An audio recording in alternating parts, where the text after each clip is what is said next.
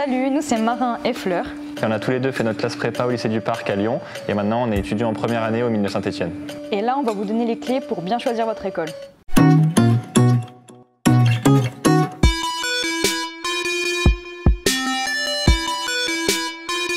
Pour bien choisir son école, il faut avant tout regarder les formations proposées par les écoles. Donc si vous avez une idée claire de ce que vous voulez faire dans votre futur professionnel, ce sera sûrement assez facile pour vous. Si c'est un peu plus flou en sortant de prépa, renseignez-vous sur toutes les formations euh, possibles, sur euh, les sites internet des écoles, sur les plaquettes alpha. Renseignez-vous auprès euh, de vos professeurs également pour choisir ce qui vous correspond le mieux.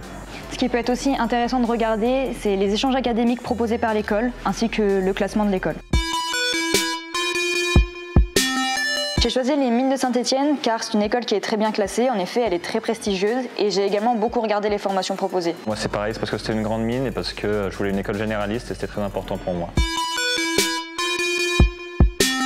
Quoi qu'il arrive, ne t'inquiète pas, tu feras le bon choix. Mais sache que si tu viens aux mines de Saint-Etienne avec nous, tu vas t'éclater.